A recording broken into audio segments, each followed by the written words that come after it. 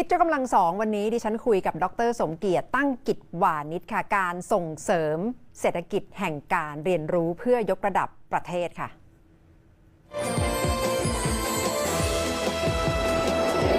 คุณผู้ชมคะในยุคเศรษฐกิจดิจิทัล ในปัจจุบันเรื่องของข้อมูลข่าวสารยิ่งทวีความสำคัญมากขึ้นมากขึ้นเรื่อยๆนะคะและอาจจะต้องเป็นเรื่องที่ลงทุนกันอย่างจริงจัง เพื่อพัฒนาเศรษฐกิจ และทรัพยากรบุคคลค่ะ คิดยกกำลังสองวันนี้กับดร สมเกียรติตั้งกิจวานิชประธาน TDI ค่ะ มองข้ามไม่ได้จริง ๆ เลยใช่ไหมคะ เรื่องของความรู้นี่ยค่ะใช่เลยครับ และปีนี้นะครับ ทางคณะกรรมการมอบรางวัลโนเบลนะครับในด้านสาขาเศรษฐศาสตร์ จึงมอบรางวัลให้กับนักเศรษฐศาสตร์คนหนึ่งครับ ที่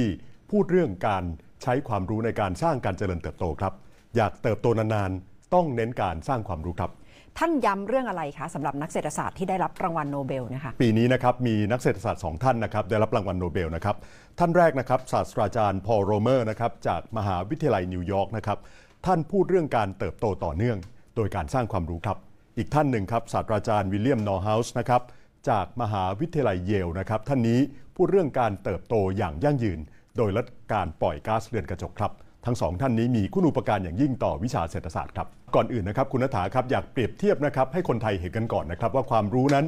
สำคัญขนาดไหน ทั้งการสร้างความรู้การใช้ความรู้ครับ เปรียบเทียบประเทศที่คนไทยรู้จักกันดีคือเกาหลีใต้นะครับ ทราบไหมครับ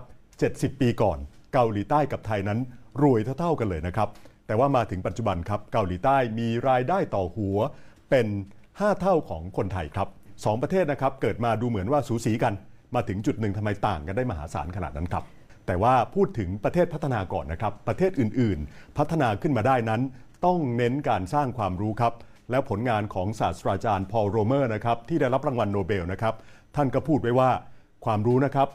สำคัญมากเลยต่อการสร้างความมั่งคั่งของประเทศครับ ทุกประเทศจะต้องมีหน่วยสร้างความรู้ที่เข้มแข็ง หากอยากพัฒนาไปไกล ๆนะครับ ความรู้นั้นสร้างได้นะครับ ไม่ใช่ภาครัฐอย่างเดียว กลไกตลาดก็สามารถสร้างความรู้ได้ครับ แต่ว่าภาครัฐนั้นนะครับ จะช่วยสร้างความรู้ได้ให้กับประเทศนะครับ ในการลงทุนวิจัยพัฒนา และก็การคุ้มครองทรัพย์สินทางปัญญาครับ ท่านอาจารย์โรเมอร์นะครับที่ท่านได้รับรางวัลโนเบลสาขาเศรษฐศาสตร์ก็เป็นเพราะว่าท่านแยกนะครับว่า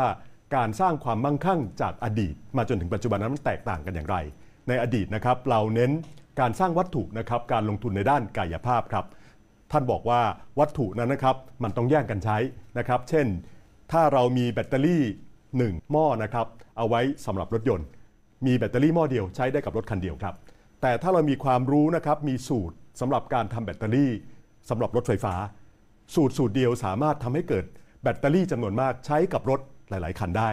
โดยที่ความรู้นั้นไม่ต้องแย่งกันใช้นะครับ ในขณะที่ถ้าเป็นวัตถุทางกายภาพต้องแย่งกันใช้นะครับ ที่สำคัญครับท่านบอกว่าความรู้มันมีหลายอย่าง มันมีตั้งแต่ความรู้พื้นฐานทั่วไป ซึ่งใครๆก็จะใช้ได้นะครับ เช่น สูตรในการหาพื้นที่วงกลม คนใช้ได้กันทั่วโลกไม่มีใครเป็นเจ้าของครับ ของอย่างนี้ก็เป็นของที่มีประโยชน์ แต่ว่าของที่จะสร้างความมั่งคั่งต่อแต่ละประเทศได้นะครับ ต้องเป็นของที่คนที่สร้างความรู้คือเจ้าของ สามารถตักตวงประโยชน์ได้ เช่น สูตรสำหรับทำแบตเตอรี่รถไฟฟ้านะครับ สูตรลับสำหรับเครื่องดื่มบำรุงสมอง หรือว่าซอฟต์แวร์ต่างๆครับ ของพวกนี้ก็เรียกว่าเป็นทรัพย์สินทางปัญญาครับ ความรู้นั้นนะครับ สร้างความมั่งคั่งได้ครับคุณณัฏฐาครับ แล้วประเทศไทยเนี่ยจะนำมาประยุกต์ได้อย่างไรคะอาจารย์เพื่อสร้างความเติบโตนะคะ ประเทศไทยถึงจุดที่ว่าอัตราการเติบโตทางเศรษฐกิจไทยนะครับถ้ามองไปข้างหน้านะครับอย่างที่มีการคาดการณ์กัน จะต่ำมากๆนะครับเมื่อเทียบกับประเทศเพื่อนบ้าน ทั้งประเทศที่รายได้ต่ำกว่าไทย อย่างฟิลิปปินส์อย่างเวียดนามนะครับอย่างอินโดนีเซีย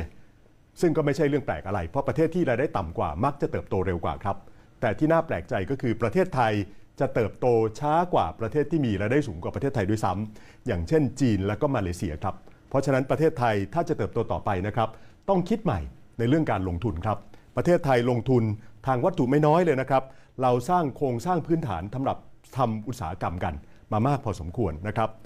เราสร้างคนมาไม่น้อย แต่ว่าได้ผลน้อยครับ เรียนกันมากมาย แต่ว่าคุณภาพนั้นเป็นที่น่าสงสัยครับ แต่ที่สำคัญที่สุดครับ เราลงทุนสร้างความรู้น้อย แล้วก็ยังได้ผลน้อยอีกนะครับ หน่วยสร้างความรู้ของเรา สร้างความรู้ที่แปลงเป็นเงินได้น้อย เรียกได้ว่ามีประสิทธิภาพไม่ค่อยสูงกัน จึงสร้างความมั่งคั่งไม่ได้ครับ และนี่แหละครับก็คือสิ่งที่ประเทศต่างๆเขามองว่าเหตุใดประเทศไทยจะไม่สามารถเติบโตไปได้อย่างที่เคยเป็นมาครับ ยังพอจะมีเวลาปรับใช่ไหมคะอาจารย์อันนี้เป็นอัตราการคาดการณ์การเติบโต จะต้องไปลงทุนตรงไหนถึงจะให้การเติบโต ยั่งยืนและสูงขึ้นค่ะเราต้องตระหนักอย่างแรกเลยนะครับ ว่าต่อไปปัจจัยในการสร้างความมั่งคั่งนะครับ ไม่ใช่วัตถุทางกายภาพอีกต่อไป งานของศาสตราจารย์โรเมอร์บอกว่าจะโตนานๆนะครับต้องเน้นการสร้างความรู้ครับ ปัญหาก็คือไทยลงทุนสร้างความรู้น้อย ได้ผลยิ่งน้อยครับ ต้องลงทุนสร้างความรู้เพิ่มอีกเยอะเลยนะครับ และก็ต้องสร้างความรู้ประเภทที่สามารถไปต่อยอดสร้างความมั่งคั่งได้ ประเทศไทยพูดกันเยอะนะครับ ว่าเราขาดการวิจัยพื้นฐาน ซึ่งก็เป็นสิ่งที่ถูกต้องนะครับ แต่ว่าการวิจัยพื้นฐานนั้น สร้างความมั่งคั่งโดยตรง ได้ค่อนข้างยากครับ ต้องไปเน้นการวิจัยประยุกต์นะครับการพัฒนาเชื่อมโยงกับกลไกตลาดว่า งานสร้างความรู้ของหน่วยสร้างความรู้ประเทศไทย ไม่ว่าจะเป็นสถาบันวิจัยนะครับไม่ว่าจะเป็นมหาวิทยาลัยของรัฐนั้น สร้างมาแล้วเอาความรู้ไปใช้ในเชิงพาณิชย์สร้างความมั่งคั่งได้จริง ๆ ครับคือที่ผ่านมาอาจจะไม่ได้ขาดหน่วยงานด้านการวิจัย แต่ว่ายังขาดการเชื่อมโยงประยุกต์ใช้จริง ๆ ใช่ไหมคะครับผมมองว่าปัญหาใหญ่ก็คือการเชื่อมโยงไปใช้จริงนะครับ แล้วก็การเอาไปใช้จริงนะครับ บางครั้งไม่ต้องสร้างความรู้เองด้วยซ้ำนะครับ จะมีตัวอย่างครั้งหน้าคุยกันว่า มีวิธีที่รวดเร็วกว่าในการสร้างความรู้ด้วยซ้ำไปครับ ค่ะเอาละค่ะเรื่องของความมั่งคั่งในเชิงความรู้อาจจะไม่ใช่เรื่องที่กำลังขาด แต่ว่าจะทำอย่างไรต่อยอดไปใช้ได้จริง ๆ ในอุตสาหกรรม ในภาคการบริการต่างๆ ด้วยนะคะ วันนี้ขอบพระคุณอาจารย์ค่ะ